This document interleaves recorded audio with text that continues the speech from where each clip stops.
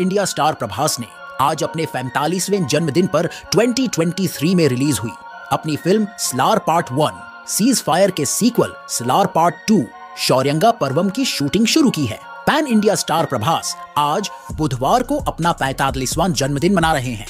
इस खास दिन पर उन्होंने 2023 की अपनी film Salaar part one cease fire के अगले भाग की शूटिंग शुरू कर दी है। बुधवार को सलार पार्ट टू शौर्यंगा पर्वम के सेट पर कैमरे लगने शुरू हो गए हैं। फ़िल्म का निर्देशन प्रशांत नील कर रहे हैं, जो ब्लॉकबस्टर केजीएफ फ़िल्म फ्रेंचाइजी और Salaar part one cease fire में अपने काम के लिए जाने जाते हैं। Salaar part two Shouryanga Parvam action से भरपूर फ़िल्म होगी। प्रभास पृथ्वीराज सुकुमारन के साथ सीक्वल में अपनी मुख्य भूमिका को फिर से निभाएँगे। वर्तमान शूटिंग शेड्यूल 20 दिनों के लिए निर्धारित है, जिसके दौरान टीम का लक्ष्य हाई ऑक्टेन सीक्वेंस को कैप्चर करना है, जिसका प्रशंसक बेसब्री से इंतज़ार कर रहे हैं। स्लार, भाग टू।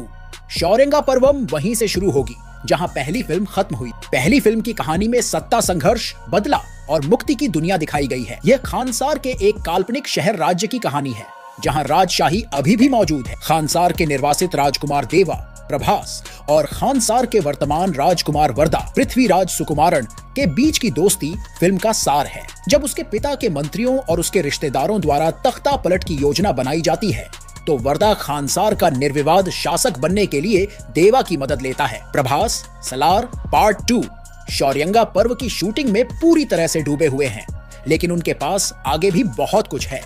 उनके पास दराजा साहब और कल की 2898 ई पार्ट टू के साथ साथ स्पिरिट भी है। स्लार, पार्ट टू, शौर्यंगा पर्वम का निर्माण होमबले फिल्म्स द्वारा किया जा रहा है, जिसके पास कांतारा चैप्टर वन ए भी है। कथित तौर पर फ़िल्म को आठ महीने की अवधि में शूट किया जाएगा और फिर 2025 में सिनेमा घरों में रिलीज़ किया जाएगा।